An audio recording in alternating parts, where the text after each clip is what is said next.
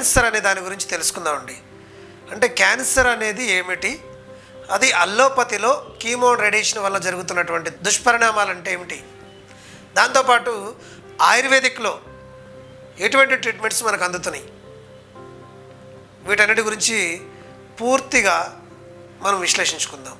Cancer అంటే ఒక జీవకణం మనిషికి సహజంగా ఒక మానవునికి జీవకణం ఇరవై ఎనిమిది రోజులకు ఒకసారి పుట్టి చనిపోతుంది. అటువంటిది క్యాన్సర్ కణం వచ్చేపాటికి సగం డ్యామేజ్ అయిపోయి ఉండి ఆ బతికి ఉన్నటువంటి కణాన్ని క్యాన్సర్ కణం అంటున్నాం. దాన్నే ఫ్రీ రాడికల్ సెల్ అంటారు. ఇదే అసంబద్ధమైన జీవ కణజాలము అని కూడా అంటాం. అంటే బతికే ఉంటుంది సగం డ్యామేజ్ అయి ఉంటుంది. అది కంటిన్యూగా అట్లానే ఉంటుంది. ఇరవై ఎనిమిది రోజులకు ఒకసారి జరగాలి సైకిల్ జరగదనమాట కంటిన్యూగా జీవించే ఉన్నటువంటి క్యాన్సర్ కణం. అది లింప్ నోడ్స్లో తయారయ్యి అక్కడి నుంచి ఏ ఆర్గాన్కి స్ప్రెడ్ అయితే ఆ ఆర్గాన్కి సంబంధించినటువంటి క్యాన్సర్గా మనం పరిగణించడం జరుగుతుంది. సపోజ్ లంగ్లో ఆ free radical cells lymph nodes lymph nodes ద్వారా అక్కడికి వచ్చి ఒక గెడ్డ అంటే ట్యూమర్ ఏర్పడింది అనుకోండి లంగ్ క్యాన్సర్ అంటాం. అటువంటిది కిడ్నీకి వెళ్ళిపోయి అక్కడ కూడా ఒక గడ్డ ఏర్పడితే అక్కడ కిడ్నీ క్యాన్సర్ అంటున్నాం. ఓకేనండి? ఈ విధముగా ఈ ఫ్రీ రాడికల్ సెల్ ఎక్కడికి వెళ్ళి అక్కడ ఒక గడ్డ అంటే ట్యూమర్కి ఏర్పడుతుందో దానిని క్యాన్సర్ గడ్డ అని చెప్పేసి మనం అనుకోవడం జరుగుతుంది.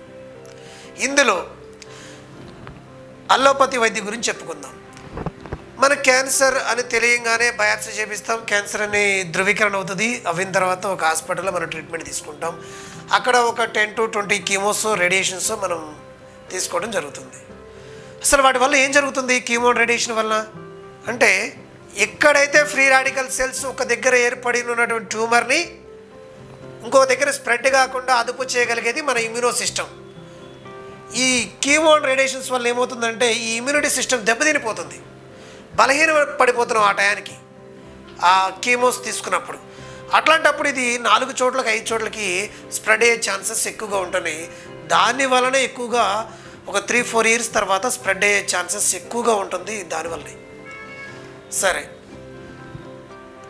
ఈ కీమో ఇవ్వడం వల్ల ఏం జరుగుతుందంటే ఎక్కడైతే ట్యూమర్ ఉందో ఆ ట్యూమర్ మీద మాత్రమే సెల్స్ని చంపివేయాల్సింది పోయి బాడీలో ఉన్నటువంటి ప్రతి పార్ట్లో ఉన్న అవయవాల మీద ఉన్నటువంటి జీవ కణజాలాన్ని హెల్దీ సెల్స్ను కూడా చంపడం జరుగుతుంది.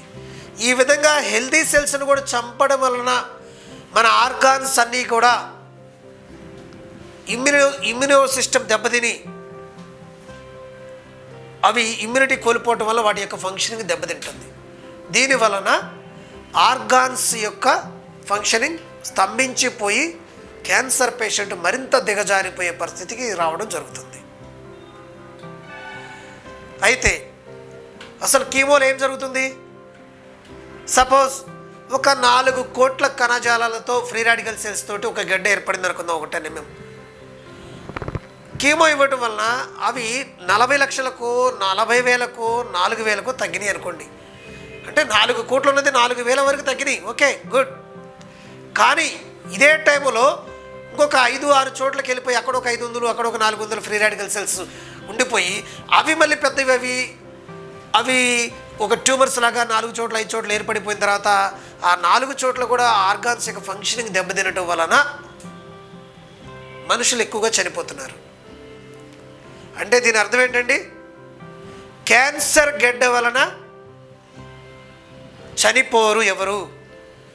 ఆ క్యాన్సర్ గడ్డ నాలుగు ఐదు చోటలకి వెళ్ళి అక్కడ ఉన్నటువంటి ఆర్గాన్స్ యొక్క ఫంక్షనింగ్ని ఆపివేయటం వల్ల జరుగుతున్నటువంటి ఇబ్బందులు ఇవన్నీ. కాబట్టి కీమో వల్ల వచ్చే దుష్ప్రభావాల నుంచి బయటపడాలి అంటే ఇంకొక దగ్గర స్ప్రెడ్ అవ్వకుండా ఉండాలి అంటే ఏం చేద్దాం? అనేక మందిలో ఉన్న క్వశ్చన్ ఇదే. ఏమండి అనేక అంతర్జాతీయ ఆర్టికల్స్లో మేము చదువుతున్నాము అనేక సర్వేలు చూస్తున్నాము. ఆ అంతర్జాతీయ సర్వేల్లో చెప్పేది ఏంటి అంటే ఐదు సంవత్సరాల క్రితం కీమోలు కానీ రేడియేషన్స్ కానీ తీసుకున్న వ్యక్తి ఈరోజు ఎంతమంది బతుకున్నారంటే టూ పర్సెంట్ మాత్రమే.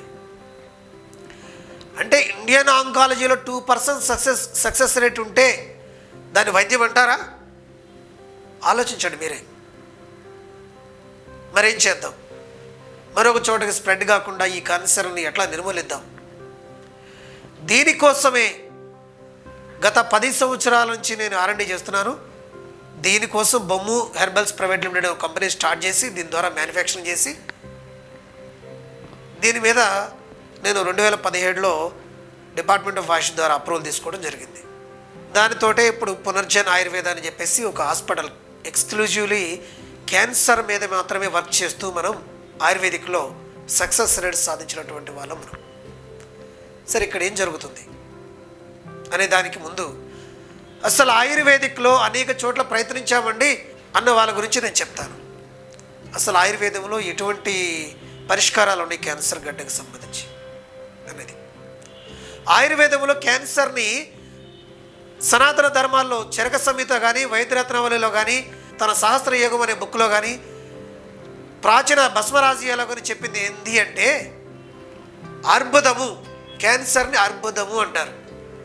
మెడ మీద వస్తే గండమాలలు నడువుల మీద వస్తే రాచపండులు కడుపులో వస్తే అర్బుదము అంటారు.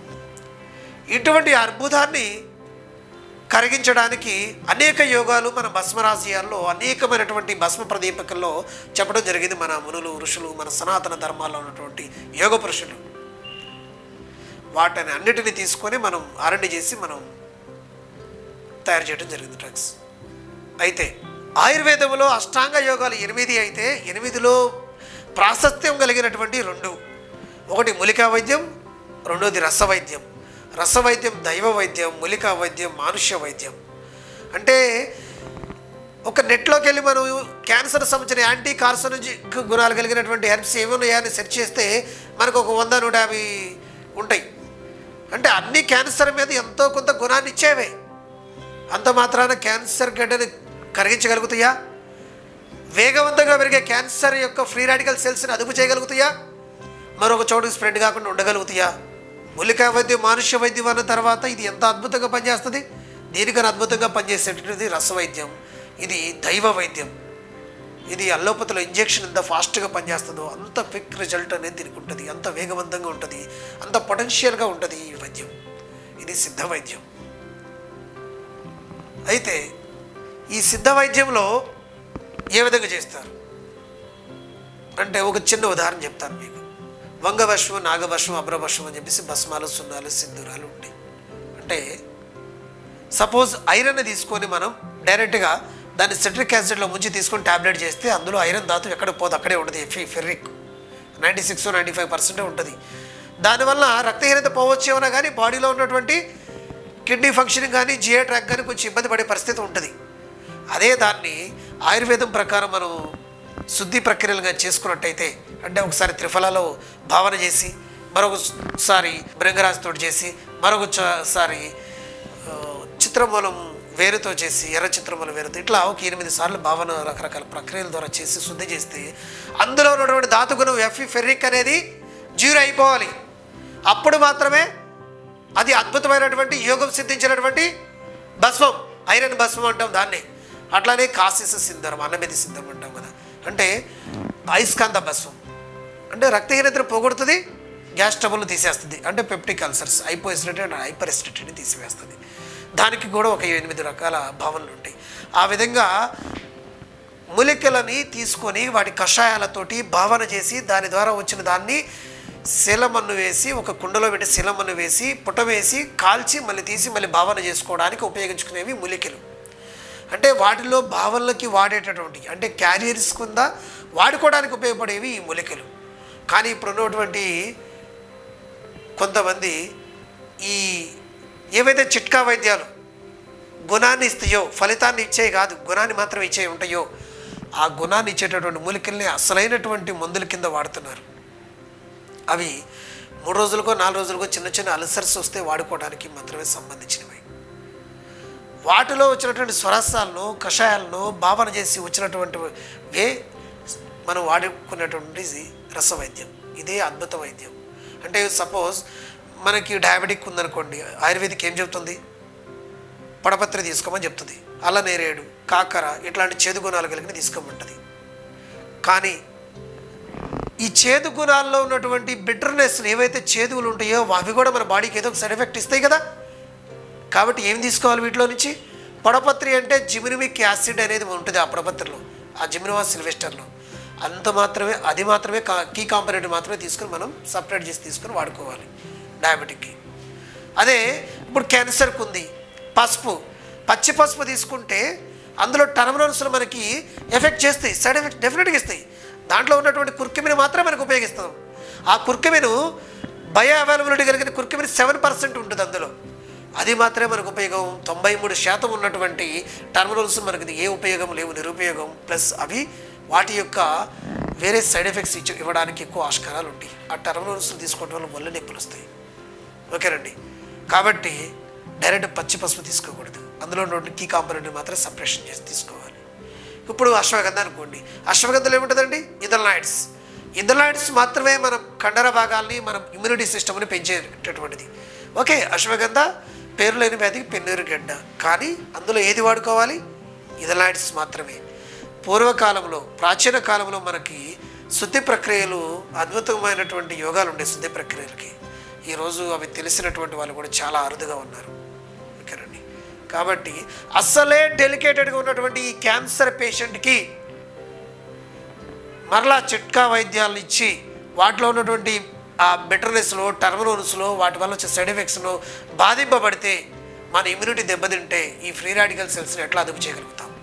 ఆలోచించండి మీరే. కాబట్టి సాల్వెంట్స్ ద్వారా కీ కాంపోనెంట్స్ని ఏవైతే కావాలో వాటిని మాత్రమే సప్రెషన్ చేసి తీసుకొని వాటిని మాత్రమే భావన చేసుకొని మనం వాడుకున్నట్టయితే అద్భుతమైనటువంటి యోగం సిద్ధిస్తుంది. అద్భుతమైనటువంటి ఫలితాన్ని మనకి ఇస్తుంది ఈ ప్రక్రియ ద్వారానే నేను తయారు చేయడం జరిగింది. ఓకే సార్ మీరు అన్నది బాగానే ఉంది. కీ కాంపోనెంట్ సపరేషన్ చేస్తాం. అది ఎంత పర్సనేజ్ ఉంటుంది ఎట్లా తెలుస్తుంది? దాని ప్రామాణికత ఏంటి? దాని ప్రామాణికత ఒకటేనండి. ఇండియన్ ఫార్మకోపియా ప్రకారం అనేకమైన ల్యాబ్ ల్యాబ్ ఎక్విప్మెంట్స్ మనకు దొరుకుతున్నాయి.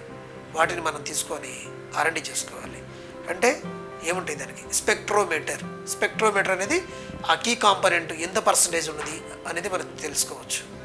ఇటువంటి కంప్లీట్ ల్యాబ్ తోటి మనం ఈ పది సంవత్సరాల నుంచి చేసినటువంటి ఈ అనేకమైనటువంటి ప్రయోగాల్లో ఈ క్యాన్సర్ సంబంధించినటువంటి ఫ్రీ రాడికల్ సెల్స్ని తీసివేసే ప్రయోగాల్లో మనం సక్సెస్ సాధించడం జరిగింది. We'll be covering uh, all topics which commonly affect patients on a day to day basis. For more this type of doctor advices or opinion or any other things, దయచేసి doctors advice ఛానల్కి like చేయండి comment చేయండి share చేయండి subscribe to this channel, Doctor's Advice. పది మందికి ఉపయోగపడేలాగా చూడండి thank you so much